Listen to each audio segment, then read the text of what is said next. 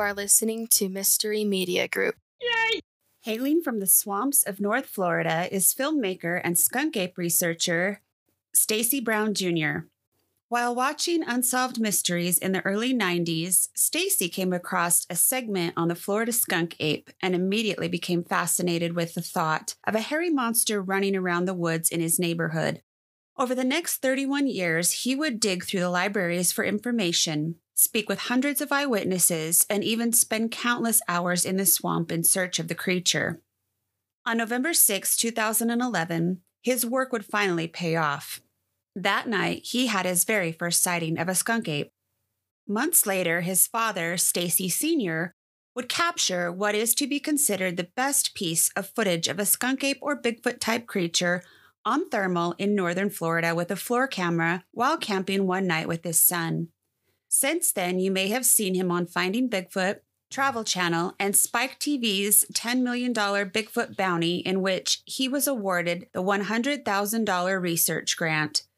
In 2019, Stacy released a film documentary, The Best Evidence and Stories, from his years of research titled The Skunk Ape Lives, which is available on YouTube now. First of all, I have to say, Stacy, thank you for fixing my car out in the middle of the Skinwalker Ranch country. And second of all, um, the grasshopper that you flicked off of your beard attacked me on my way home. Oh, wow. And I Right still on. can't find it. So I need you to come get it out of my car.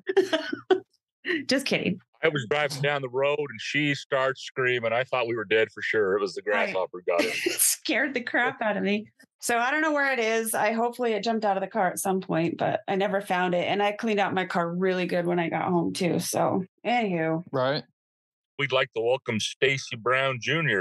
I've known Stacy for a long time. I spent some time at his house with him and his dad and his uncle. His uncle is my brother-in-law. Um, when I first got there, your dad and mom just opened the house up and treated me like we were family. So I really appreciated that. I really enjoyed going there and hanging out. And that was my first first taste of squatching was with your dad when he pulled out those Bigfoot pheromones. Man, that was strong stuff. Holy cow. And in my head, I'm thinking, where in the hell did he get this? I was just going to ask, where do you get Bigfoot pheromones? Uh, so there's a website, uh, SasquatchPheromone.com or .net, and No they sell them. It's an osmic research uh, facility, and they make all kinds of things, but it's just one of the like I guess novelty items that they sell. But actually, funny story. I have some in my car right now, uh, my Uber, but you can't smell them. They are sealed up. But I keep them, I keep them in the Bigfoot Jeep so that I can, uh, you know, stop if I'm camping, throw them out just in case. You know. You never know. You never know when you're going to need Bigfoot pheromones. Well, Or scare some people off. good to know that we can go to the website and buy them. Who knew? Yeah, they're, they're like uh 40 dollars. uh, I think for a jar of like nine or ten, and they are horrid. Like Oh, yeah. they're bad. They're bad. They'll make you gag. Like well, I Michael, thought I'm your dad was that. Pulling my hang leg, but I hang around Michael enough. Yeah. Sorry. Keep yeah, going, I Mike. smell kind of like a Bigfoot too. Uh, your dad took us out fishing one time in the in the boat.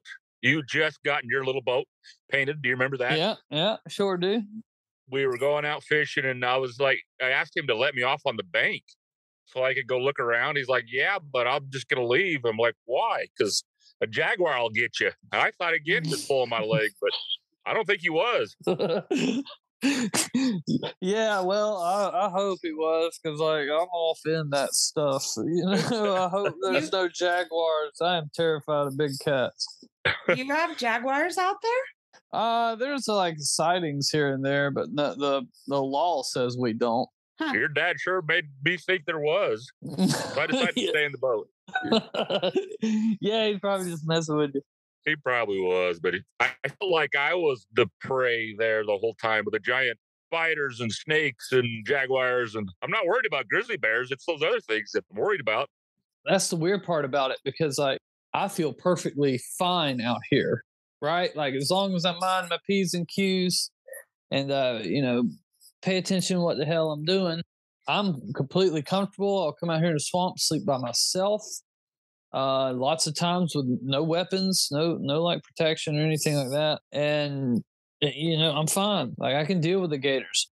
Y'all have these like bears that are massive, and gets like that. Like I, I was up in Maine, and they're like, "Hey, we got to worry for the moose." I was like, "The moose," and he's like, "Yeah, dude, the moose." And I was like, oh my God. And then I'm like Googling how big the moose get up there. And I was like, no way, dude. And he's like, yeah, they're only going to run straight though. So you just go step aside. I was like, that, that don't sound right. like, I don't, I don't know what you're talking about, but uh, so I guess it's like a, just a, a culture swap, you know, like Yep. I would I would be scared out there by myself. And when I was walking around the desert out there, I was like, probably a damn cougar out here, you know. Um, It's just the skinwalkers out there, man. I'm not worried about that stuff, Maybe a few chupacabras. right? Like it, it's the it's the grizzly bears, the cougars, mainly the cougars. The Like the bears, would scare me too. you know, the bears uh, they're what they are, you know. Um, for the most part, you shouldn't have no trouble. If you do, uh, well, it is what it is. But like the cougars, they're the problem is they're like my little cat who hides under my chair and jumps out and grabs my leg, and I didn't know he was there. except they're like 250 pounds and you know they're playing for keeps so yeah. so you've So been all over. whole- oh yeah yeah uh, i've been i've been all over the country bigfooting you know uh i think i've been to every state except for like five. Wow, that's impressive. like bigfooting in uh almost every single one. So it's uh it's weird. A lot of the places you know you'll go to and i just don't see it. And when i say that i mean like i just don't see the existence of bigfoot in such a habitat. Right. like when when i was in nebraska if sasquatch is a real thing flesh and blood creature there is no way it could live on this indian reservation where these people were saying it was What do you think they were seeing then? Something different? oh that no no no they all believe what they're seeing Right. it just doesn't it doesn't make sense as in put yourself in that situation like when when i walk into the woods when i go into a new state i'm learning what the the vegetation is you know the flora and the fauna i'm kind of learning what all i can eat in the woods Uh-huh. And you get to some of these places and it's just barren like we can eat deer okay so now you have to chase that deer down it's a constant calorie battle Right. right Right. like you gotta you gotta think how how many days could you make it out here? And if you can't think to yours if you can't figure out about eight different food sources, you know, so you don't deplete one, maybe have a little bit of variety because you need to eat a lot, yeah. right? To to You're be able to keep you going. And, and you you can't rely on catching deer as a staple. What if you get hurt? Right. What if you step on a rock? You know what I mean? Like break your ankle or something. It- so that's, but the, the, the problem with it is, is the people are still having the sightings. Yeah. And so that's why I used to think. Now, when I first got into this, I, of course, uh, first places I went California, Washington, Oregon, Florida, right? That was in Georgia. So that was really my spots Uh-huh. and then you get into other places and you just you don't see it you don't you don't see how they can survive like when i was in washington a lot of them parts were just cold so many months there was not that much like edibles you know these bears are hibernating and why are they hibernating because there ain't no food so you're telling me this this sasquatch this primate is living living like a cold environment right it doesn't make no sense. Like, where do we see this around the world? I think we have some snow monkeys or Arctic monkeys or something like that. Maybe that's just a band. No, uh, but uh, you, know, you don't really see it. All the all the primates are living, you know, close to the equator, where it's warm, where there's tons of stuff to eat to to cover their calorie intake. There's a reason they live at these levels. And then now you're telling me Sasquatch lives in Washington. And sure, it makes sense in the Olympic Peninsula, but you know, in other spots, like further in the state, well, like places like Idaho, it gets Yeah. so cold. What can you what can you eat And how hard would it be? Like, I know Mike, you spent some time out there in the woods. And how hard would it be for you to survive out there? It is next to impossible to be able to carry on, have children. You know what I mean? And like, how cold is it? For how long? How how long is there snow on the ground in these places? In Idaho, Five- year round. Yeah, well, Some there places, yeah. And to me, it doesn't make sense. Like, it would make sense that they lived in Florida. Yeah. There's there's food source year round. I mean, it's fish. You got tons of reptiles, uh, worms, ants, uh, you know, all kinds of berries and different things like that. True. And then you go to Nebraska, where this native culture has had all of these sightings. Our own guys even have encounters when- when they're there. It doesn't make no sense if it's a it's a, if it's a real animal. I'll never believe. Do you think maybe they're do they move around and go from different areas, and that's why they're seeing them? Is they're just passing through? Is that a possibility? Uh yeah, at every place. Uh that's the thing about these. Uh and this is just obviously my opinion. But from what I've seen, after there's a sighting, you got about two weeks. Because these things will stay in the same area for about two weeks and then they bounce. Hmm. Now that that area may be large. You know what I mean? Maybe a few square miles, but they could be somewhere in there, you know, for about two weeks and then they're gonna move and they're just constantly on the move. That's why everything we find is something that Bigfoot left. Very rarely do we find Bigfoot. you know, very rarely do we see him doing what he he does on his daily routine. And that's my problem with these creatures. That's that's that's the issue, and that's the issue I have with believing it. And this is from somebody that's seen one. Like I still have a problem believing that it can be an ape, you know, and and you got all these uh great people, friends of mine. I just guys, have y'all have y'all thought about going out in the woods and living? And sure we can talk about it. Sure we can say it's possible. Maybe we go out go out there and try to do it. you know what I mean? like I don't. Uh, yeah, that's a very good point. And you know, there's what just- did what did the native tribes do? right. Obviously, there was a bunch of bison back in Nebraska back in the day, so I guess they didn't have no problem. But I, don't, I have no idea. They did also during the planted crops and stuff, right? Right. You know, but did they all live up where it was just covered in snow? I mean, yeah, the Eskimos did, but they fished. Yeah. If if that if that's the case, and it's like the lake's frozen, so Sasquatch have to get fish. They got to be here getting the fish. Well, then, all right, we just wait where they got to come to the food source. Instead, we're going to this one hollow that I seen the damn thing 26 years ago. Y- You know, uh, when you look at it also as a, a community with a common goal, it's absolutely toxic. It's not moving forward. Everybody's always chasing down yesterday Right. and not looking for what these things are doing today. And uh, it's another thing I don't understand about Washington and California, especially California. They go through these droughts, record droughts, no water. All right, cool. Let's go up to this mountain or this mountain. Let's find out what mountain's got water on it and where it's at. Because where it's at is going to be where these things are at. Because if it's a if it's flesh and blood creature, well then he's going to come to water at some point, whether we got a camera in our hands or not. Well, haven't we spent this time and, and like done it right? It's just like when these people um like won't won't give it a thought that this may be a paranormal thing that we're dealing with Yeah. because none of it makes any sense. Right. I know what I saw. Firmly believe what I saw. Not crazy. Haven't seen one after 2014.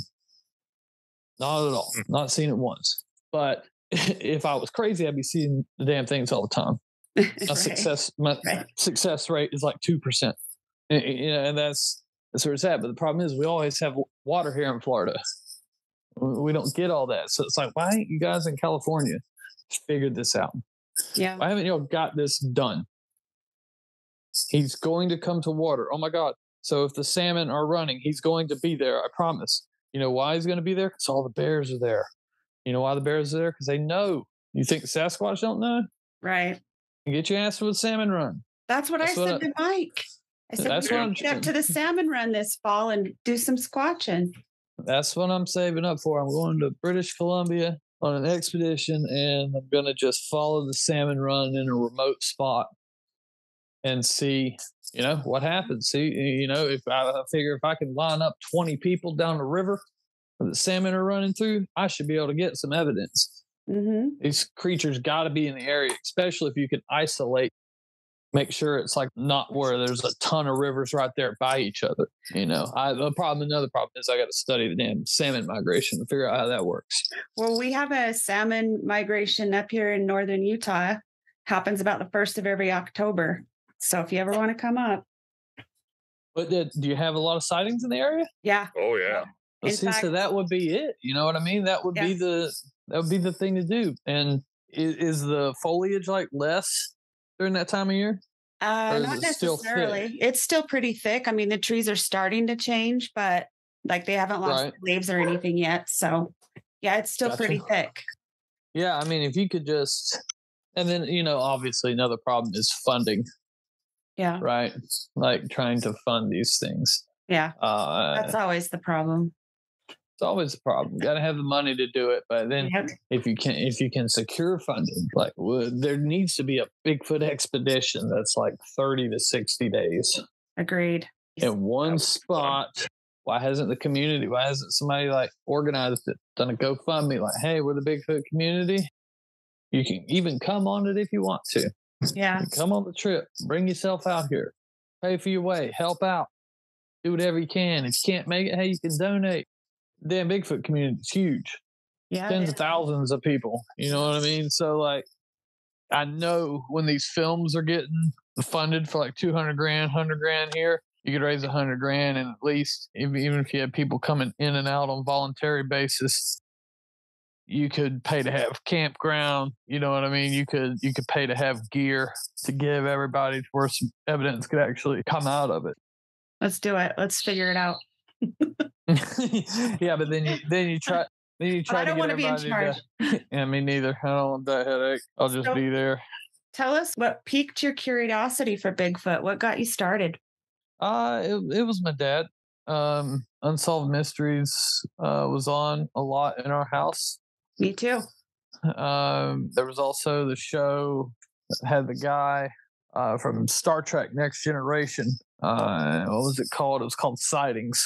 And then, you know, occasionally there'd be a alien or Bigfoot on hard copy or something like that. I really didn't get to like in search of uh, before me, you know, so it was more or less like unsolved mysteries and sightings that really uh, got me into it. And then I get the books at the local library, check them out. Like our our neighbor uh, kid I played with, his mama drove the bookmobile, which is is just full of books. You come and check them out. So we'd go over there, and anytime she had a Bigfoot book, she'd come bring it over to the house. You know, so I was always in it since I was a kid, and uh, I remember I, I was talking on Spike. I was like, "Yeah, I've been hunting Bigfoot since 2011." And my buddy's like, "Dude, you lying?" He's like, "You've been hunting Bigfoot since you was like six, bro." Weren't I didn't pretty count that as real Bigfooting. young when your dad got that video? Uh, it was only 2011, so 27. We would go camping and call it Bigfooting. We put them pheromones out, set up a game camera, you know, but it wasn't a lot. And it wasn't like we never thought we was going to find anything. Like, honestly, we found a track one time and I was like, that's got to be a bear. right? He's like, Yeah. it has to be a bear. You know what I mean? We we were talking ourselves out of it. It didn't even have casting material. You know, we were just hanging out and having fun. Then I got him. I was taking him on a BFRO trip to Georgia, Blue Ridge, for his birthday, and we went on that, and uh, that was pretty fun. And then after that, I started kind of starting a Bigfoot uh, because that finding Bigfoot was on, and I called the lady that I'd seen on the episode. She lived like an hour from me. And so we went over there. My dad was supposed to go, but he had gotten bladder cancer at this point. Mhm. And uh, so he couldn't go. So my bass player went with me and we went to her house. And that's when I had my first encounter. And then so I like changed everything about my life. I was all of a sudden going to be Jacques Cous- uh, Cousteau or some shit, you know? like, Yeah. the- people been picking on me about Bigfoot for years. Hey, that thing was like 10 feet away from me. I'm going to, uh, I'm going to prove this to you guys. Like, there's going to be a bronze statue of me in town. uh, that's still the plan, you know, just so everybody knows. Uh, We're still banking on it, man. yeah. So, uh, I mean, I quit my band and everything, started going at it like all the time. And so he's seen how serious I was about it. Uh, and he's like, hey, I'm going to sell my boat and do some remodeling around the house anyways, but I'll use some of the money to, to get a FLIR. He goes, if they're out there, you know, we need to film them. And we started going and uh, you know, then we ended up getting the footage. Like, I had my first encounter in November, and we had the footage in May. Wow. Tell us about. Yeah, I mean, hey, we were going a lot. We were going a lot. So the footage, um, it was like a last second. Dad wanted to go. You know, I was working. Uh, it was a Tuesday. I had the next day off, and you know he wanted to go. So he came pick me up from work. And we rode out to Torreya State Park. Uh, now this spot in Florida isn't like what you think of Florida. You know, uh, this is like hills, almost mountains. Like this, they'll wear you out walking up and down them. I don't care where you're from. Like the grade on them is pretty pretty steep, right? So Yeah. uh, but it, it goes up like 240 feet or something like that. But um, it's up and back down, you know. So it looks like you're in almost the Smoky Mountains, right? Florida, Florida's version of the Smoky Mountains. And uh, we went out there. There wasn't nobody there. Uh, I've been having some success in this area. Um, Cliff had posted some knocks on his website or uh, some whoops that he had got from this area. Uh, we had also recorded some howls from that area and stuff. So I was like, hey, well, we're gonna go to this spot. And so we hiked down into the down into the campsite there, which is about a mile downhill. Set up camp. Uh, was grilling, you know. Uh, had some music playing, and started hearing knocks. And uh, I was like, "Hey, they're coming in." And he's like, "Nah, it's just the wind blowing the trees together." And um, I heard another one, and I was like, "Man, we need to get you know get together, get stuff together, and go." And he's like, "If we hear one more knock, we'll go." And I mean, just as it those words left his mouth, it was it was like a grunt with a knock. It was like forceful, you know what I mean? Like it put everything into it. That makes And the hair stand up on the back of your head. I, I just I just looked at it. I was like, bro, because we were we're still like uh, right there talking already, looking at each other, and uh, I was like, what now? And he's like, all right, let's get in shit. So we we turned up the radio.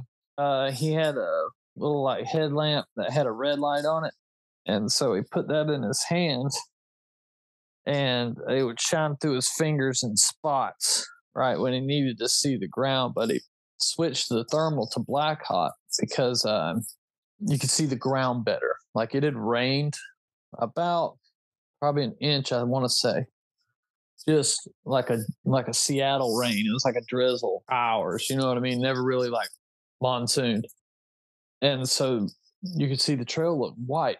So that's how he was following the trail, and I was holding on to his shoulder, and he was walking, and then we hear something coming down the ridge. Now the whole time, like cicadas, are- cicadas are super loud, They're like deafening. You can't hear shit. He ain't lying. yeah, Them things are loud. It's like, oh my god. Um, but that helped us. to be honest. You know what I mean? It was it, that was a very important part on us getting to where we got because I think what happened was we were in the middle of them because as we were walking out, we're hearing like heavy sound like something running off over here to our right. Then we'll hear it to the left. Then you know hear it in another direction, and then we heard it coming down this ridge. So we made a left there and went down, and it ran right up on us. Right. I guess it seen us and hit the brakes because that was another thing. Like it was so loud when it stopped. Like, you Oh, know what I mean? Like when it it hit the ground. crap out of me. And then so dad's looking at it and it's sticking out of one side of the tree.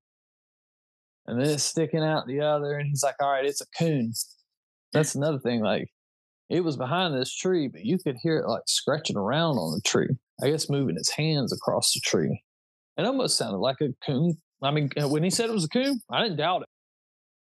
I was Yeah. like, all right, yeah, uh, and that's you know that's how close it sounded was to a coon being on that tree, and uh, and he's like, oh, hold on, it's two coons, not sticking out of both sides of the tree, and then I don't know what happened, and he says he thinks he kicked a palmetto.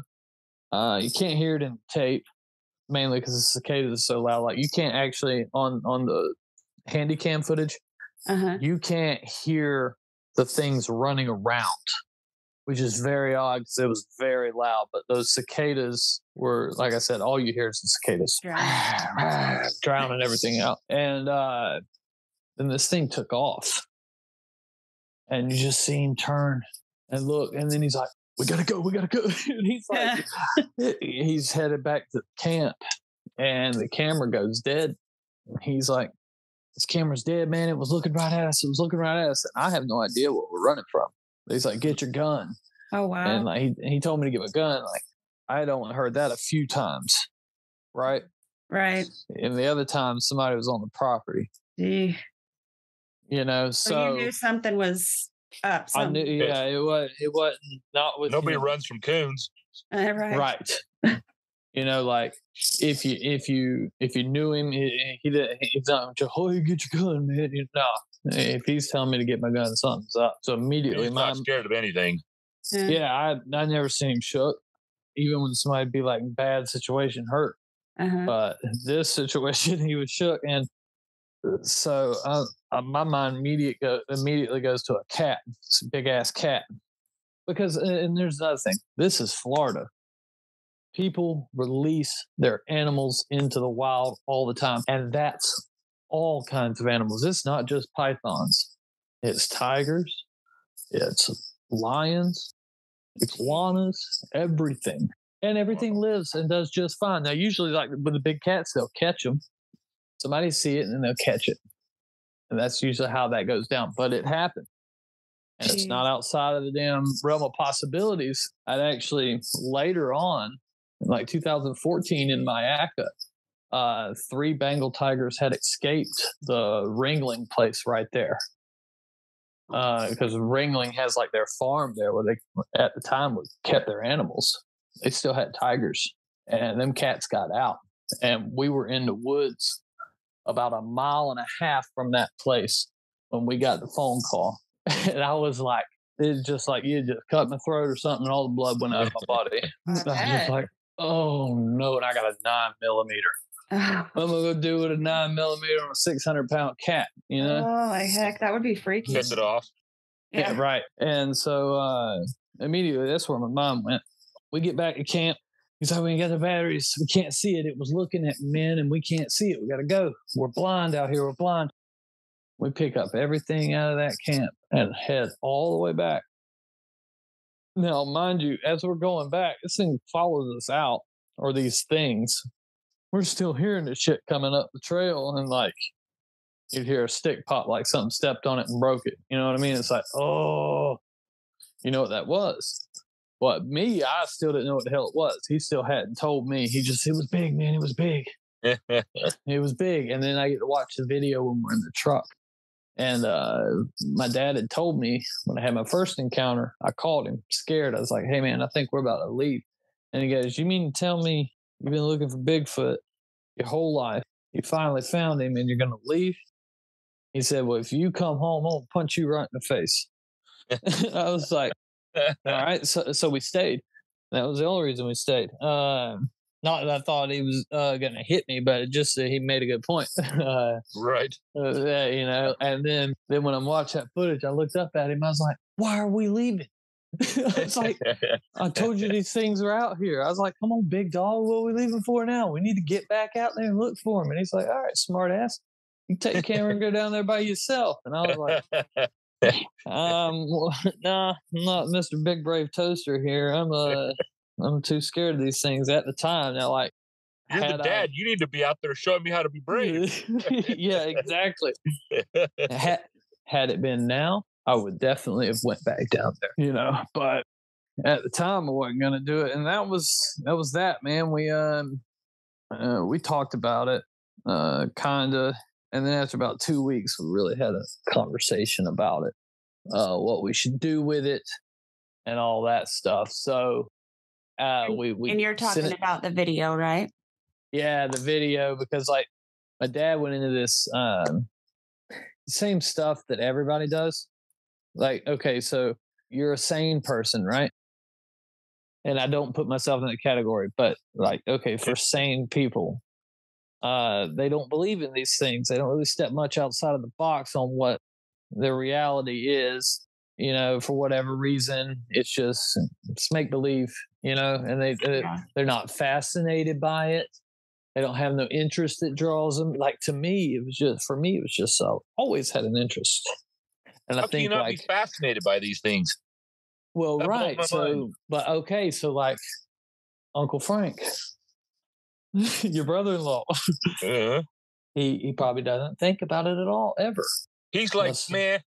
Yeah, ex- exactly. Care. Exactly. Doesn't don't people don't care, and that's fine. But imagine being that person and then it steps out in front of you. That's so big. in the in the moment it shakes you to your core. But then you go through this uh, small town monsters did it when they came out with us because they didn't believe in orbs. And I was telling them, well, I think Bigfoot may be something more than just an ape. I was like, we see these lights all the time. They don't believe in all that stuff. And then they see one. And they happen to have their audio recorder rolling while they see it. So they get the reaction and it's in the film. But in the moment, they're like talking about it, and then like the next morning, they're trying to talk themselves out of it. Oh well, may and that's what my dad was doing. So he's like, maybe maybe Junior had some friend out there to scare me. I was like, Dad, okay, first of all, I don't know nobody that big. Uh, second of all, I don't have no friends that would run around in the woods out here, butt naked, at night with no flashlight. I don't yeah. have no friends that good, but if you think I do, then that's a possibility. you know what I mean? Like, quit trying to talk yourself out of it. But these people, they, they do it because they don't. It, it, it was a eh kind of thing before. Don't don't pay it no mind. They may watch it or hear about it if somebody's talking about it, you know, uh-huh. and go about the day and never think about it twice. Like when I was a kid, I'm drawing Bigfoot all the time and shit. Right.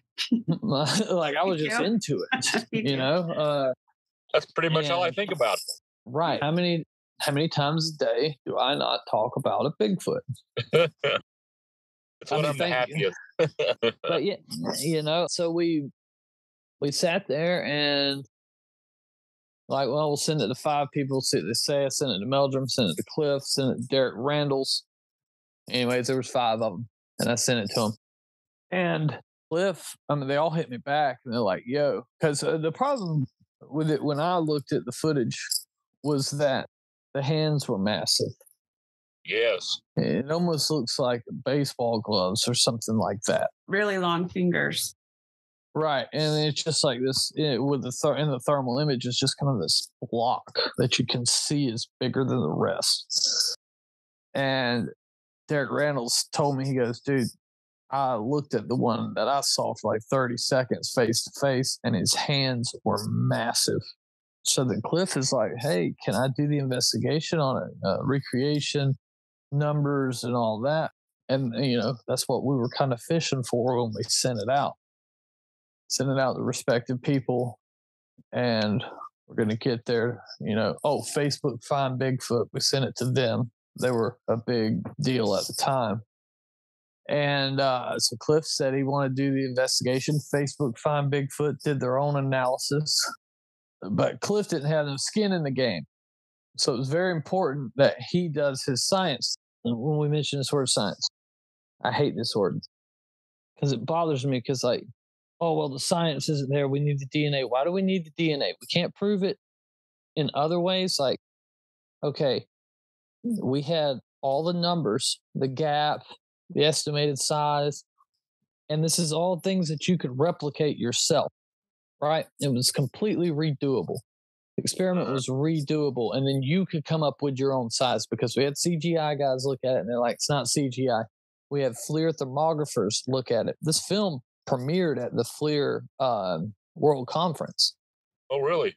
That's yes. cool. Uh, Cliff was cool. giving a presentation, and that's where it debuted. And uh, that was in Tampa, and that was a big deal There were people from all over the world there, and we talked to that were coming up, shaking our hands, and asking us questions about it and stuff. So we had those people look at it when it come down to it. Like you had the experts saying that is a real animal, and so okay, now we have the size, and it's eight three.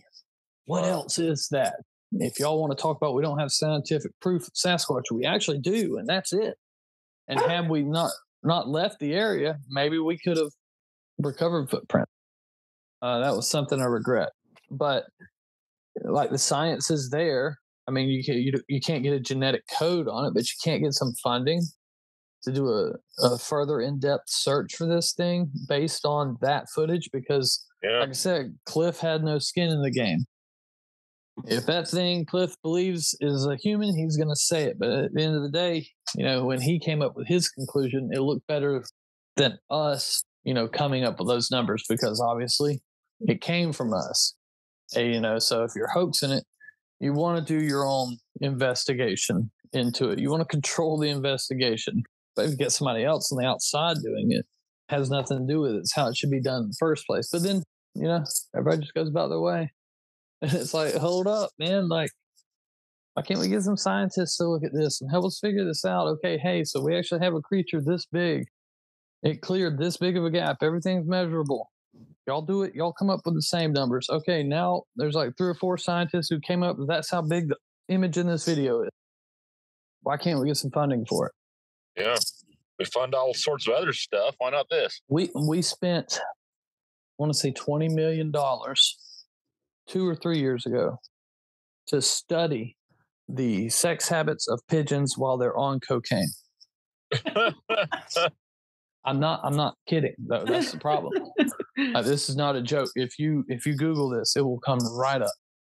Us government funds study of the sex habits of pigeons on cocaine. But we can't get 20 million dollars to find bigfoot? There's Yeah. got to be a reason why we can't get that money. But what do they know? You know what I mean? Bigfoot has become the whole Bigfoot topic's become a uh, sore subject for me. I bet.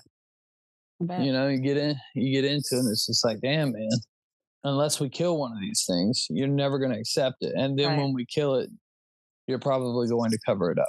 That's the part. Probably. the cynical, yeah. the cynical side of me is like, dude, they already know they're going to cover the shit up.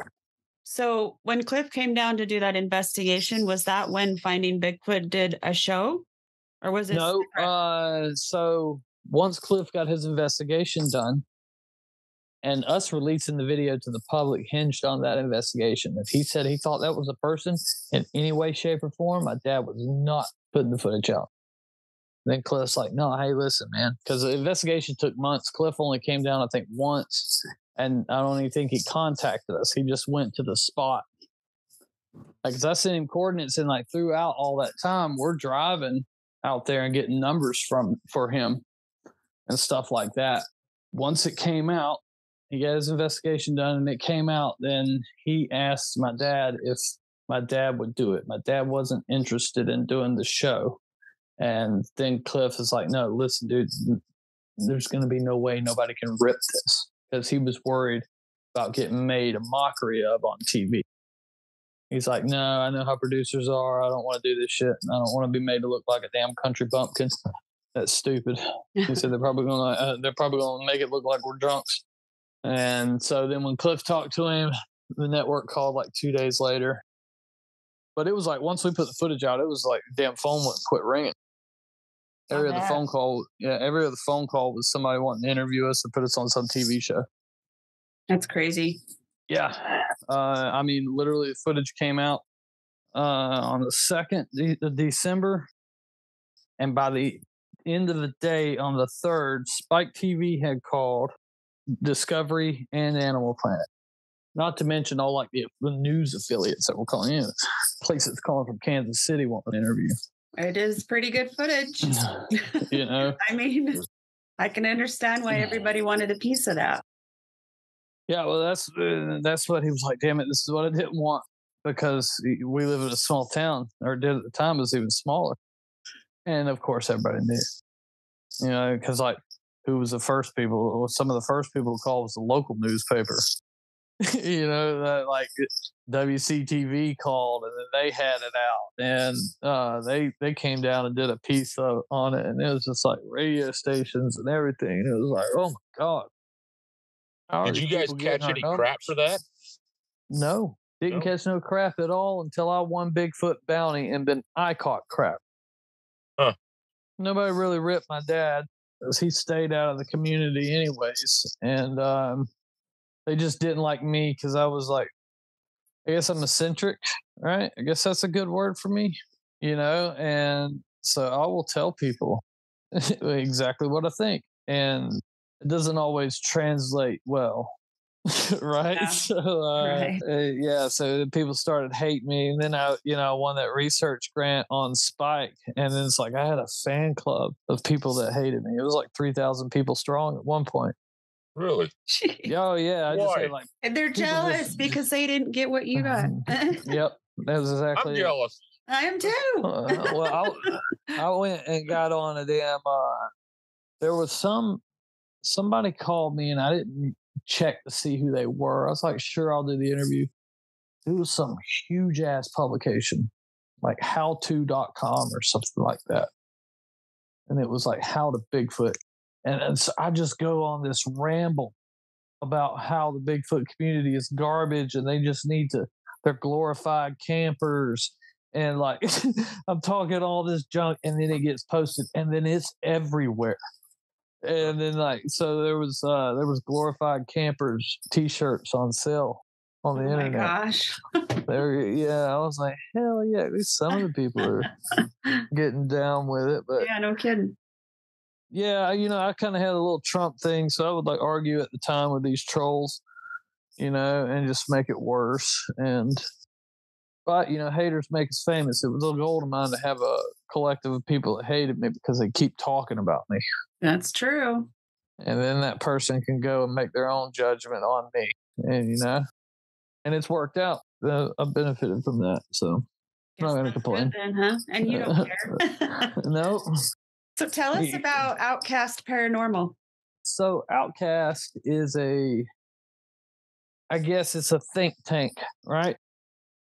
So we look at all these different paranormal uh, stories and we'll do investigations and the goal behind outcast is to have everybody so drastically different with their ideas the, just outside of the box thinkers like uh okay so for like the paranormal world we have these k2 meters and these rem pods and for some reason we're in the mindset that that means it's a ghost i don't know who came up with that means that that's spirits you know, so like we want to do things that are not like that. Like nothing against ghost hunting and nothing against Bigfoot and the way people go out and do their things, but it's like we want to try exactly the opposite because the problem is if you look at the paranormal world in general, we know the same stuff we did 60 years ago. Yeah.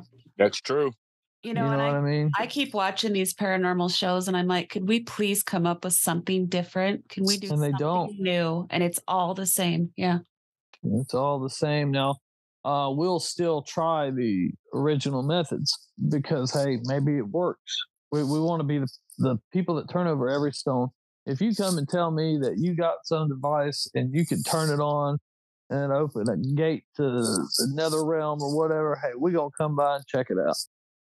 Hell yeah, let's do it. You know what I mean? We'll we'll set it up. What do we need to do this? We'll set it up exactly like that's more or less what it is. So some of our experiments involve uh, various hallucinogenics, um, yeah, new tech, uh, stuff people like have built. We had one guy build a thing called the World Gate. Uh, a guy named Jay Prather, IDC devices.